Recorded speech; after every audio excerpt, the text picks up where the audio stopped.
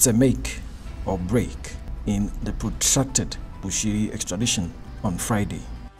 Malawi's Director of Public Prosecutions, Dr. Steve Kayuni, says his office is confident that resident magistrate Patrick Chirwa will agree that South African witnesses will testify in South African courts when the magistrate court in Malawi meets on Friday, the 17th of June 2022.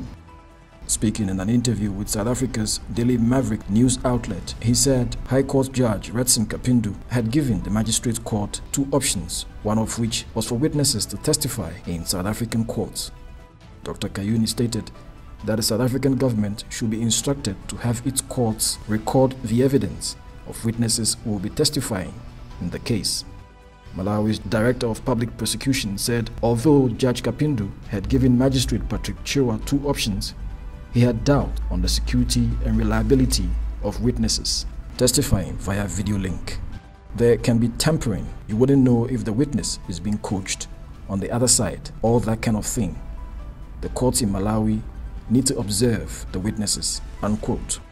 He noted that if witnesses were to give testimony in South Africa, Shepherd Bushiri will be entitled to appoint South African lawyers to appear in South African courts to cross-examine the witnesses. He added that South African National Prosecuting Authority could lead the witnesses in the South African court as Malawi Prosecuting Authority did not have the right to appear in South African courts. However, Shepherd Bushiri's lawyer Wapona Kita insists that South African witnesses should appear physically in court in Malawi rather than give testimony in a South African court or by video conferencing.